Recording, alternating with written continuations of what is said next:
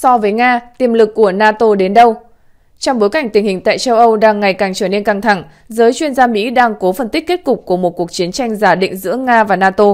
Hội đồng Đại Tây Dương là một tổ chức đã hơn nửa thế kỷ nay làm công tác tư vấn cho Nhà Trắng và Lầu Năm Góc, và theo quan điểm của tổ chức này, Moscow có những ưu thế rất quan trọng. Tác giả của nhận định trên là một cựu trung tá phi công của lực lượng thủy quân lục chiến Mỹ Scott Cooper, người đã từng điều khiển máy bay tác chiến điện tử EA-6 Prowler. Khi thuần túy là một chuyên gia dân sự, một sĩ quan quân đội đã về hưu đi bình luận về chính sách đối ngoại của Washington, chứ không phải là một nghị sĩ hay một thượng nghị sĩ. Trong bản báo cáo của mình, Scott Cooper không hề thể hiện tư tưởng bài Nga mà chỉ là những phân tích về tình hình thế giới và đánh giá tiềm lực quân sự của các bên. Những trở ngại chính Phi công Scott Cooper khẳng định tác chiến trực diện với lực lượng lục quân của Nga là một hành động vô nghĩa. Cơ hội duy nhất để giành được chiến thắng là phải chiếm được ưu thế trên không. Trong cuộc chiến tranh ở Việt Nam, quân đội Mỹ đã để mất hơn 3.300 máy bay, phần lớn bị tiêu diệt bởi phá phòng không và tổ hợp S-75 do Liên Xô cung cấp. Cựu sĩ quan Scott Cooper chia sẻ, Lầu Năm Góc đã tốn rất nhiều công sức để sửa chữa lỗi lầm, cải thiện công tác đảm bảo hậu cần vật chất cho quân lính. Trong chiến dịch bão táp sa mạc năm 1991, quân đội Mỹ đã thể hiện dáng vẻ hoàn toàn khác. Trong thời gian 40 ngày đêm của chiến dịch, quân đội Mỹ chỉ mất 23 máy bay. Kể từ đó, lực lượng không quân của Mỹ và NATO được cho là đội quân hùng mạnh nhất thế giới. Không quân sẽ là công cụ chiến tranh chủ lực của chúng ta. Thế nhưng, vị trung tá phi công Mỹ phải thú nhận một điều không hề mong muốn, đó là công cụ chiến tranh chủ lực của Mỹ và NATO chỉ có thể giành được chiến thắng ở các nước thuộc thế giới thứ ba và đối với lực lượng khủng bố thôi. Nếu xảy ra xung đột với một cường quốc, việc sử dụng không quân để tác chiến, hiệu quả có thể sẽ không đạt được như vậy. Chuyên gia Scott Cooper khẳng định hệ thống phòng không S-300, S-400 hoàn toàn có khả năng bắn hạ khí tài của NATO. Ngoài ra, Nga cũng bắn được rất nhiều các hệ thống đó cho thế giới. Theo số liệu mà Trung tá phi công Scott Cooper có được, thì NATO bố trí ở châu Âu 1.800 máy bay, hơn nửa số đó là F-16 và máy bay tấn công đa năng Eurofighter Typhoon. Đây là mục tiêu quá đơn giản đối với hệ thống phòng không tầm xa. Ngoài ra, Nga luôn sẵn sàng thiết lập vùng cấm bay đối với những khu vực được bảo vệ chặt chẽ trước các cuộc tấn công từ mặt đất, từ biển và từ trên không. Theo Lầu Năm Góc, những khu vực đó là tỉnh Kaliningrad, bán đảo Crimea và Biển Đông, nơi mà Trung Quốc tự cho là ao nhà mình. Ở những khu vực này, Mỹ và đồng minh chắc chắn sẽ chịu những tổn thất vô cùng to lớn. Át chủ bài của quân đội Mỹ Cựu phi công Scott Cooper cho rằng Lầu Năm Góc có trong tay át chủ bài, đó là những máy bay tiêm kích tàng hình F-22, F-35, máy bay ném bom chiến lược B-2, sắp tới là B-21, máy bay không người lái RQ-170 Sentinel. Scott Cooper cho rằng với lực lượng máy bay tàng hình này, hệ thống phòng không của Nga có thể bị áp chế. Đây sẽ là cơ hội mở đường cho các máy bay chiến đấu khác. Khi đã chiếm được ưu thế trên không, lực lượng mặt đất bắt đầu tổ chức tấn công. Trên thực tế, số lượng máy bay tàng hình của Mỹ còn quá ít để có thể đánh thắng lực lượng không quân vũ trụ của Nga. Nếu muốn giành được thế chủ động với Nga, cần ít nhất là 550 máy bay F-35. Hiện nay, quân đội của bốn nước đã được trang bị F-35, đó là Anh, Italy, Hà Lan, Na Uy. Có ba nước đã đặt hàng là Bỉ, Đan Mạch, Ba Lan. Phần Lan cũng đã ký một hợp đồng với Mỹ, đặt mua 64 chiếc F-35 thay thế cho F-18CD với tổng trị giá lên tới hàng chục tỷ euro, thời gian nhận hàng là từ năm 2025 đến 2030.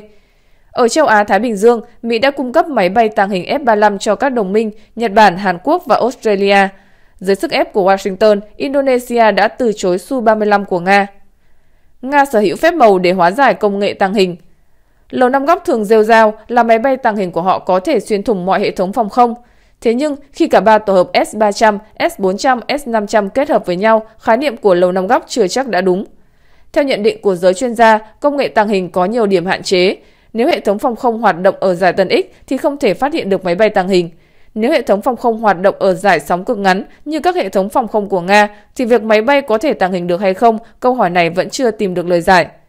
Hơn nữa là các sư đoàn phòng không của Nga có nhiều hệ thống radar đan xen với nhau. Các hệ thống radar này kiểm soát không phận từ nhiều hướng. Do vậy, để tìm một chỗ ẩn náu đối với F-35, đây quả thực là một việc không đơn giản. Mỹ rất không muốn đồng minh trong NATO sở hữu tổ hợp S-400 của Nga. Vì vậy, Thổ Nhĩ Kỳ đã bị loại khỏi chương trình sản xuất S-35 của Washington. Lý do mà Mỹ đưa ra là tổ hợp S-400 không tương thích với tiêm kích thế hệ thứ 5 của họ. Nguyên nhân sâu xa của vụ việc là Mỹ rất sợ tổ hợp S-400 phát hiện được tiêm kích tàng hình F-35. Nếu đây là sự thực thì làm gì còn khách hàng nào quan tâm tới tiêm kích thế hệ mới của Mỹ nữa? Quân đội Nga đã lột xác như thế nào trong 15 năm qua? Trong thế kỷ 21, quân đội Nga từ chỗ lạc hậu về công nghệ đã trở thành một trong những lực lượng quân sự mạnh nhất trên thế giới.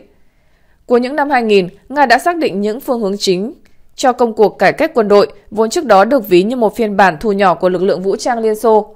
Trên thực tế, quân đội Nga từng được huấn luyện tương tự như những hoạt động quân sự trong cuộc chiến tranh vệ quốc vĩ đại 1941-1945, điều không còn phù hợp với tình hình mới và các phương án tác chiến. Những thay đổi trong việc tuyển quân Những thay đổi quan trọng có liên quan đến hệ thống điều động lực lượng vũ trang Liên bang Nga. Các nhà lãnh đạo chính trị của nước này vẫn thực hiện lệnh gọi nhập ngũ, nhưng thời hạn phục vụ trong quân đội đã giảm xuống còn một năm – số lượng thanh niên nhập ngũ cũng giảm đáng kể. Vì vậy, theo sắc lệnh của Tổng thống Liên bang Nga, vào mùa thu năm 2021, tổng cộng 127.500 công dân được gọi nhập ngũ, tức là mỗi năm có thêm khoảng 250.000 binh sĩ mới.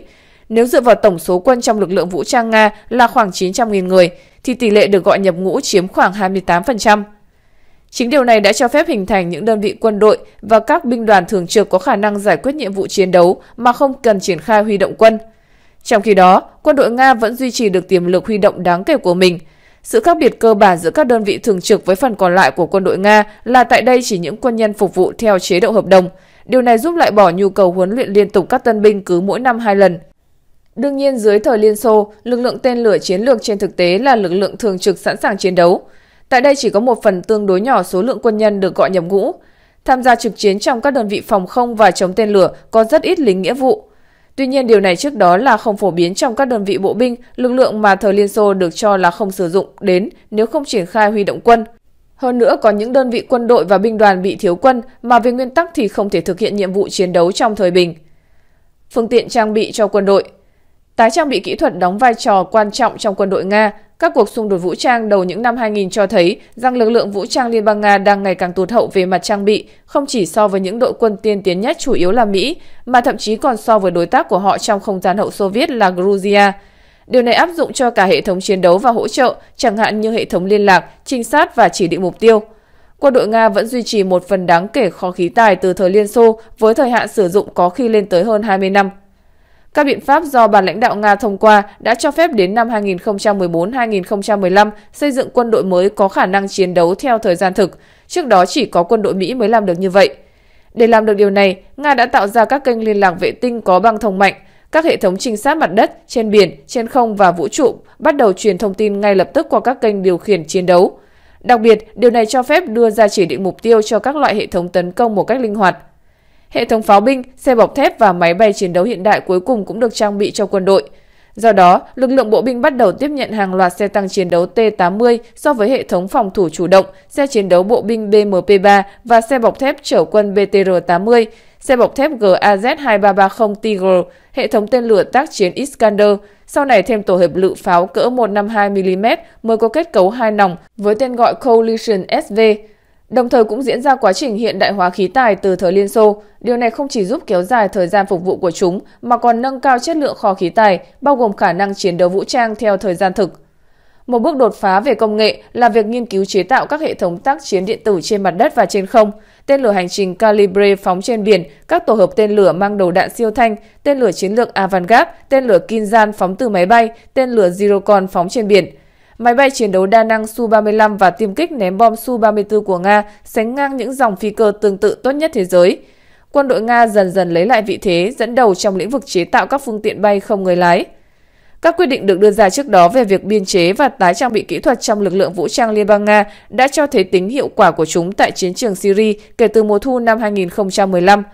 Nga đã nghiên cứu trong điều kiện thực tế cả những loại khí tài mới nhất, cũng như thiết lập tương tác giữa các nhóm chiến thuật cấp tiểu đoàn trên chiến trường – Ngoài ra, kinh nghiệm sử dụng các loại tổ hợp robot ở Syria, bao gồm cả robot tấn công, cũng không kém phần quan trọng.